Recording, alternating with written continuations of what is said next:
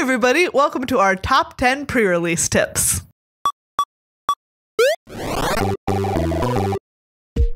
To a pre release is my number one favorite thing to do in Magic. You get to experience a brand new set right when everybody is getting their hands on the cards. It could not be better. Yeah, it's your first time playing with the cards, cracking open those packs, and just having a great time with a lot of people who have also never played with the set before. Yes. So it's pretty fun. Everyone is there to have fun, they're there to learn about the set. It's a great experience. Our first tip is to pre register. You don't want to get locked out of the pre release No. because everyone else got in there ahead of you. Yeah, so call your local game store wherever you want to play and ask if they have pre registration for the event. Tip number two is to bring a friend if you want. Yeah, playing Magic with a friend, there's kind of nothing better than that. Meghan and I learned how to play together, and if mm-hmm. there's a friend who, you know, you're trying to get into the game, the pre release is an awesome place to do it. But don't be afraid to go on your own because pre releases are super friendly environments. There's lots of players Yeah. there who are newer, who just like to have fun with the game, aren't super competitive. Mm-hmm. So it's usually a very friendly environment. Tip number three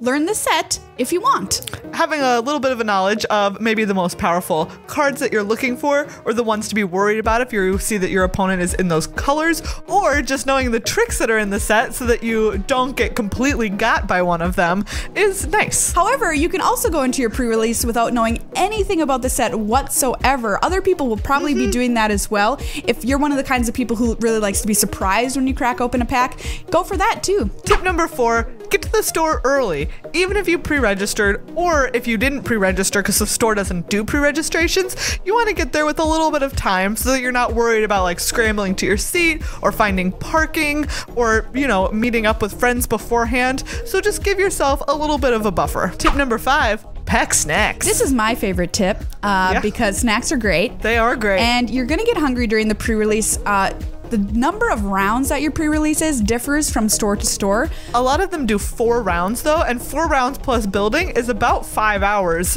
or a little bit more than that. And if you don't eat a snack for five hours, holy buckets, you're gonna be cranky. Remember, when you're building a sealed deck, the average number of lands to spells is 23 spells and 17 lands. Spells can mean a spell like an instant, a sorcery, an aura, something like that, or it can mean a creature. So 23 cards that aren't lands. And of those 23 spells, you're usually going to want at least 14 creatures. Right. Some people stray a little bit lower, they go 12 to 13, and you might be okay. But usually you want at least 14 creatures so you know that you're going to have a way to attack your opponent or to block their creatures. Remember, bombs, evasion, and removal. That means bombs, the most powerful cards in the set. Things that if you play them, your opponent has to answer them or they're going to lose the game.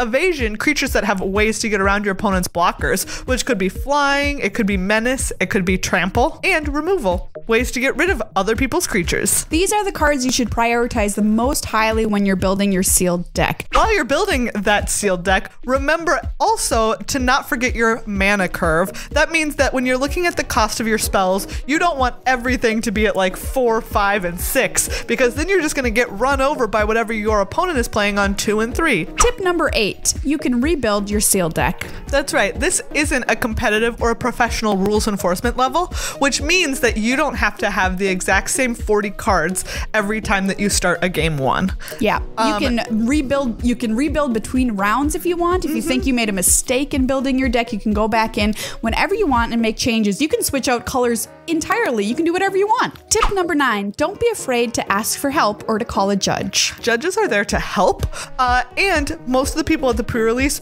are just getting acquainted with these cards as well. So they might also have questions, or they're not going to think that your questions are ridiculous because hey, we're all learning the answers together right now. Tip number 10, and our most important one always, is have fun. Yeah, it might sound a little bit corny, but what we mean is this is a pre-release, right? We're not Yes. playing a pro tour. Get in there and have a great time. Build a deck that you wouldn't normally play. Play Yeah. all of your bombs that you want, and you know have a great time with your opponent too. It's you know it's not all about winning at a pre-release. Winning is great, obviously, but we're all here to play with the cards for the first time and have a good time.